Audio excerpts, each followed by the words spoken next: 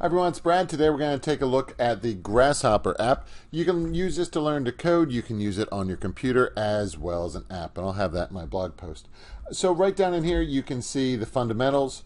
You can see getting started, and fundamentals 2, and then intro to web development. So it's going to be an intro to learn about HTML, CSS, and how JavaScript can interact with them. So let's just go in, show you what it's like to get started. Just show you a little bit here. And I am using uh, my Google login here. So you're going to have a puzzle and you will draw the French flag with code. And you can see it right in here. It gives you directions of how to do this. So go ahead, select got it.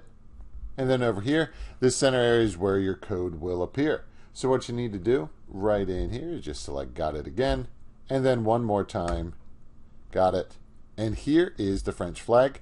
So our solution is going to come up right down in here. So what you can see how it has draw box blue, draw box white, draw box red, new line. So now what we need to do is go ahead, select draw box, and we're going to say blue, and it's going to walk you through how to do this. So if you want to run the code, there it is. So now we now need to go ahead, draw box, and we're going to go ahead and we're going to put in white, and then last but not least, draw box red, run the code, and you now have your French flag, and you drew it uh, and wrote your first JavaScript in Grasshopper. And you continue on, and it takes you through all these down in here and shows you how to do it. And it progressively does get uh, harder.